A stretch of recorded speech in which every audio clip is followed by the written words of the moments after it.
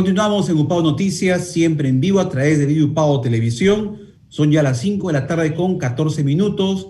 Estamos en una entrevista con la doctora Elizabeth Díaz Peña. Ella es la jefa de biblioteca de la Universidad Privada Antonio Rego para que nos informe del fortalecimiento que la universidad le está brindando a sus recursos bibliográficos al servicio de la formación de los futuros profesionales, tanto en su campus Trujillo como campus Piura. Y más ahora que estamos en un sistema de educación, de enseñanza-aprendizaje no presencial. Doctora Elizabeth Díaz, bienvenida a UPA Noticias. Buenas tardes. Buenas tardes, Alberto. ¿Cómo estás? Bien, doctora. Eh, es indudable que, bueno, la universidad asumió el gran reto de desarrollar este ciclo académico, el semestre que ya está terminando, el 2020-10, de una manera no presencial, de manera remota, virtual. Hubo todo un proceso de adaptación de ustedes, los docentes y también los estudiantes. Y en ese contexto, doctora, la biblioteca ha sido un eje principal en este proceso de enseñanza-aprendizaje. ¿Cómo ha tenido que, el alumno, eh, eh, eh, diríamos, adaptarse a estos nuevos cambios y recurrir y a la vez la universidad fortalecer su sistema de recursos bibliográficos al servicio del alumno, doctora Elizabeth Díaz? bueno, como ya eh, siempre se ha mencionado, nos ha cogido por sorpresa esto. Nosotros tenemos una gran fortaleza en la biblioteca con libros este, existentes en físico. Es una biblioteca grande con muchos recursos bibliográficos, pero de improviso nos hemos encontrado que a pesar de, de todo lo que teníamos, no era posible, ya que eh, no podían acceder nuestros alumnos, entonces sobre la marcha nos hemos puesto a trabajar para que poder eh, proveer a nuestros alumnos de los eh, famosos ebooks y también bases de datos. Entonces hemos fortalecido algunos, hemos renovado este, las, las adscripciones y también hemos obtenido nuevos recursos. Tenemos eh, muchas bases de datos y también libros virtuales, los llamados ebooks. Eh, si me permite mencionarlos. Claro, adelante.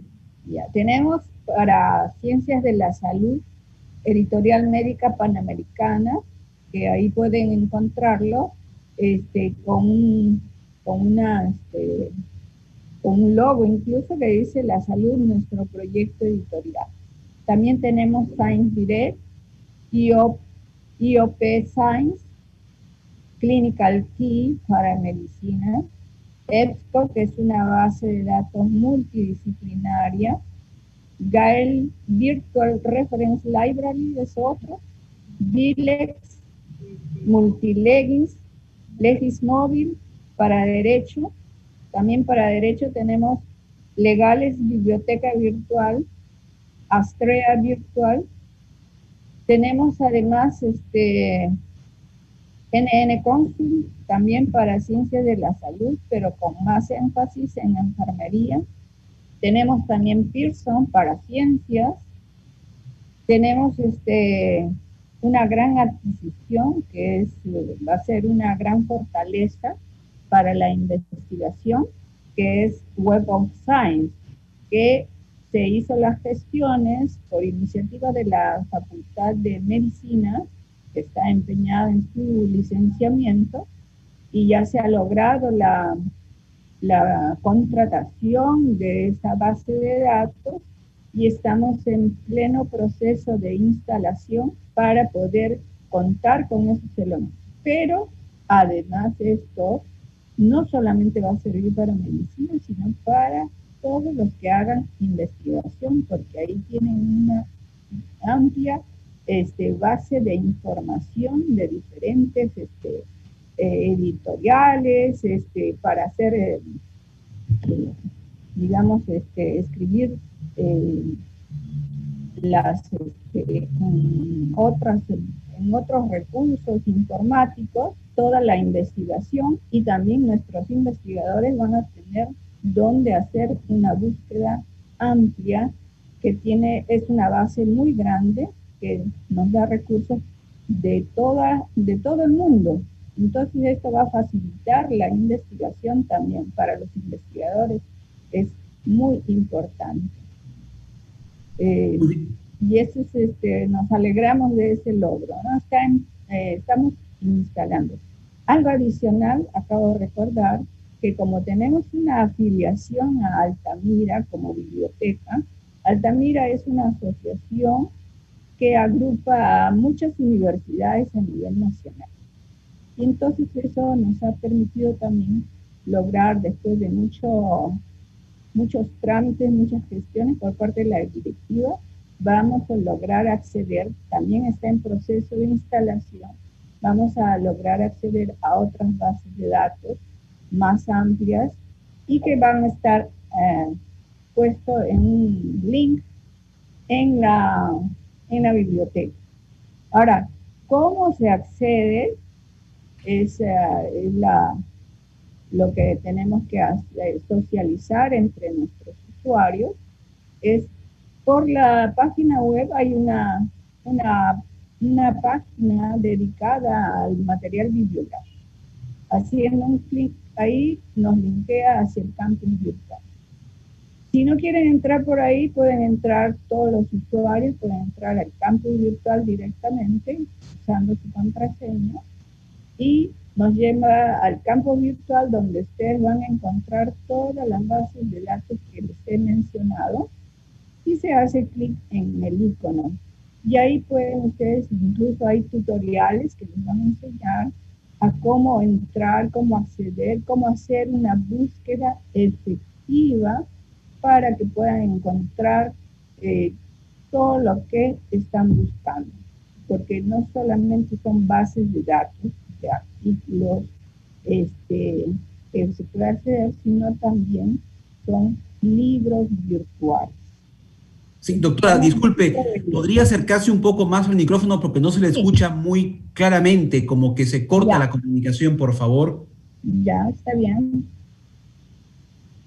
Si nos estaba explicando usted cómo acceder, los alumnos pueden acceder a esta base de datos.